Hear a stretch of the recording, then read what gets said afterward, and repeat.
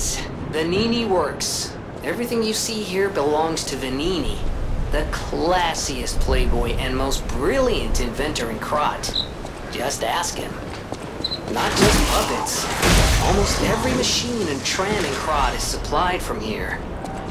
You gotta be curious about the guy. What kind of person is he? Ah, I wish we could find him. That is, if he's still kicking.